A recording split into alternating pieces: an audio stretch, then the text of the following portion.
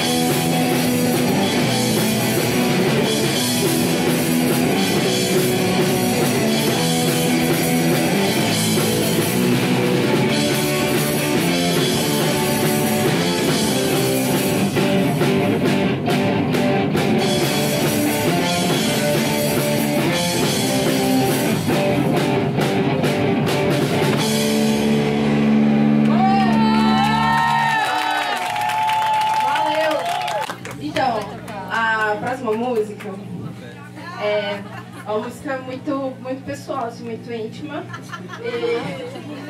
E o nome dela é Preta Gorda Sapatão. Peraí,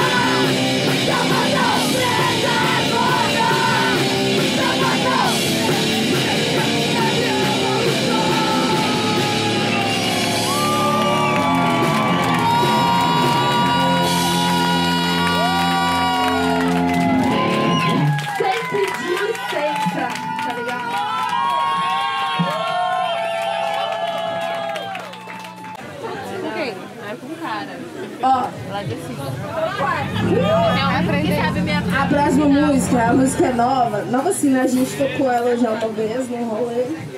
Mas é nova porque. Enfim, é nova.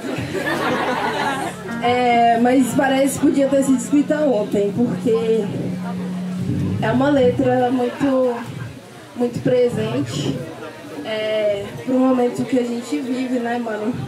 É, hoje mais cedo, quem teve presente, a gente teve uma roda aí de conversa de, sobre racismo, branquitude e privilégio. E uma das coisas que foi dita ali no finalzinho, que cada branco tem que se responsabilizar aí pelo seu racismo, tem que se responsabilizar aí pelas próprias bosta que faz. E é bom ser pra gente lembrar que a gente tá num país que mata seis pretos por dia, tá ligado? E que não importa o quão fodão, revolucionário, anarquista você seja, se é branco, tá fazendo porra nenhuma pra fazer essa máquina de moer gente preta parar, tá ligado? E o nome dessa música. O, o nome dessa música é Sangue Negro. E é uma música pra gente cantar com raiva, com ódio, com, sabe, tudo que tem de ruim, porque não é uma música feliz, saca? A gente tem que lembrar que há menos de 15 dias atrás a polícia né, a polícia, uma mulher preta sapatona foi executada, tá ligado? Se ela que tava lá dentro da estrutura sabe, vereadora do Rio de Janeiro, se ela que tava lá, com todos os holofotes nela, aí podia ter sido eu, podia ter sido a família, podia ter sido outra mina preta sapatão, tá ligado? O que não acontece fora do que a mídia tá vendo. É. Brancaiada, foi mal. O bagulho é pra vocês resolver aí. Segura a marimba do seu próprio racismo. Que a gente quer viver, tá ligado? E o nome dessa música é Sangue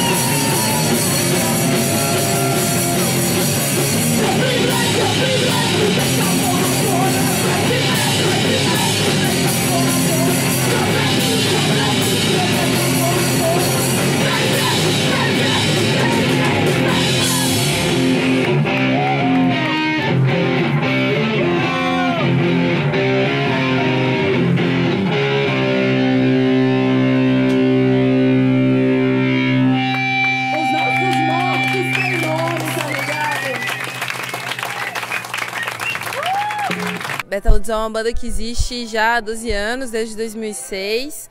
É, nós somos de Belo Horizonte, Minas Gerais. É uma banda composta só por mulheres, lésbicas. É, a gente toca hardcore feminista. A banda surgiu muito assim, né, na, muito inspiradas assim pelo movimento Riot Girl, as bandas que no momento assim estavam ali 2003, 2004, estavam uma segunda uma segunda onda assim muito forte de bandas né, composto por mulheres, bandas feministas. E isso sempre foi uma grande inspiração pra gente, né? Então eu tive a sorte de encontrar minhas companheiras de banda, é, fomos uma amizade muito forte e assim, a banda foi uma consequência disso tudo. Estamos aí na estrada 12 anos, é muito foda assim ter espaços abertos assim, né, e realmente comprometidos, não só para botar uma banda de mina ali como cota de banda de mina, mas sim espaços comprometidos com o feminismo, né, com destruir a misoginia, o machismo. E principalmente quando tem boy envolvido, é foda isso. Então, nesses 12 anos assim, é, a gente lá em BH fundou um coletivo de organização cultural chamado Nada Frágil, que ficou nativa há uns 5, 6 anos, justamente por essa dificuldade de ter espaço para tocar que fosse condizente com o que a gente queria politicamente. Então, nessa pegada do Faça Você Mesmo, a gente começou a organizar nossos próprios festivais, convidar outras bandas de Minas também, construir um espaço realmente seguro, massa, onde a política tivesse é, fosse o ponto principal ali, a questão do feminismo fosse o ponto central, né, e as dissidências sexuais. E tá, né, dessa, dessa longa caminhada assim, muita coisa mudou hoje, sei lá, ter, temos alguns espaços, né? Não todos, mas muitos espaços comprometidos justamente assim com essa mudança. Olha, em BH eu boto fé que tem, ainda tem. É, em São Paulo também sempre teve, na real, né, uns espaços de resistência. Mas é um rolê, é um rolê geral. É, eu acredito onde tem cena de, de Minas, né? Minas tocando, tem Minas se organizando também para fazer eventos, seja no eixo Rio São Paulo, aqui no Sudeste, mas isso está rolando geral. Tem bandas de Minas organizadas tocando no Nordeste, tocando no Pará, tá ligado? Então, assim, é, muitas vezes não chega por isso, porque a, a cena musical é muito masculina, é misógina, machista, lesbofóbica, e isso cria uma barreira. Os caras vão sempre conhecer as bandas dos caras, os caras vão sempre é, fomentar a banda dos caras, vai tirar recursos de não sei aonde, mas para trazer a banda foda dos boys da gringa, mas não tem coragem de pagar o busão para umas minas tocar, sabe? Fortalecer e dar o espaço. Então, assim, é, na minha trajetória pessoal, assim, com a banda, é, na minha cidade, a gente resolveu fazer a gente mesma e não ficar esperando assim oportunidade ou cota de boy para poder participar. E onde nos lugares onde tem minas organizadas tocando, tem minas organizadas fazendo eventos. Então isso isso muda tudo, né? Porque aí circula a informação, você conhece outras bandas, cria conexões, laços, né? E uma força mesmo. É uma comunidade feminista, lésbico muito forte. É, né? Eu acredito que, assim, desde a origem o punk sempre foi uma junção, né? De música política. É a política na música, no, no jeito de se organizar, né? Politicamente através da música. Então não é só não é só a música, né? Tem é muito importante isso. A música é um vetor da política. Então é muito importante no show, principalmente no rolê feminista, trazer junto. Só a nossa presença ali, mesmo que não tivesse falando nada sobre feminismo, né, tra trazendo nenhum tipo de teoria, né, de material, zine, já é um, uma, um acontecimento político muito forte. E, assim, particularmente eu, Berta, a gente. Eu tenho um outro projeto que é sobre racismo em espaços underground e entre bandas de Minas. E esse projeto chama Pretty Riot e eu tento sempre trazer esses pontos, né, para o nosso show, porque para mim é uma questão importante sobrevivência falar sobre racismo nesse espaço. É, então, para mim não, não tem como dissociar a política da música e de todas essas outras, né, esses outros encontros assim, essas intersecções. Oh é, a gente está em 2018. Tem um movimento consolidado e construído de bandas feministas ou lésbicas há 25 anos no Brasil. Assim, é, é uma coisa real. Existe em São Paulo, em outros espaços, em outros estados. Sempre existiu uma coisa muito forte, muito potente. Bandas, inclusive, que inclusive tiveram assim, um alcance internacional, sabe? É uma coisa muito presente. É, e eu acho sintomático, por exemplo, muitas pessoas nunca ouvirem, terem ouvido falar por isso. É, a gente tem bandas aí que fizeram turnê, sei lá, nos Estados Unidos, na Europa, tocaram com grandes nomes aí da música internacional e tem muito muito material lançado, muita coisa acontecendo, né? Não chega muitas vezes por isso, porque é, dentro dos espaços masculinos, onde o, a, o material que circula e que a, que a galera consegue dar valor ou perceber ou visibilizar são apenas esses outros também. E assim, poxa, é, desde, sei lá, 92, eu era criança, já tem banda de mina tocando, com posicionamento político feminista, é, lesbofeminista. E assim, é, foram vários momentos, né? A história, por exemplo, do Red Grow no Brasil começa lá em 93, 94. Tem um boom dos anos 90, primeiro momento, várias bandas em São Paulo, em Santos, no, no Rio, no Nordeste tem muita riqueza assim de, de material. E aí tem um momento, uma leve parada 2000, entre 2001 e 2005, mais ou menos, muita produção novamente. Então, assim, poxa, tem, vou citar aqui um milhão de bandas, Dominatrix, It Lizard, é, essa assim, logo do início, assim, bem, bem no início Girl, é, sei lá, Lava, TPM, tem muita banda, muitas minas foram muito importantes, assim. Porque é isso, eu tenho banda hoje foi porque eu vi essas minas tocarem, né? E elas abriram caminho, assim, dentro desse estilo para outras gerações, né? É, eu fiz minha banda em 2006, né? Muitas das, das minas que estão aqui ainda eram também mais nova, não tinha banda ainda. E é isso, cada geração influencia a outra, porque você vê uma mulher no palco, você quer, você sente que você também pode, você vai montar sua banda e você sai do referencial único exclusivo masculino, que é uma merda, que é a única coisa que tem. Né? E a única coisa que é valorizada, que é disseminada, o cara já nasce sabendo tocar guitarra, né? E a gente tem que quebrar com isso. É, não só as minas ocupando esse espaço, mas os boys também.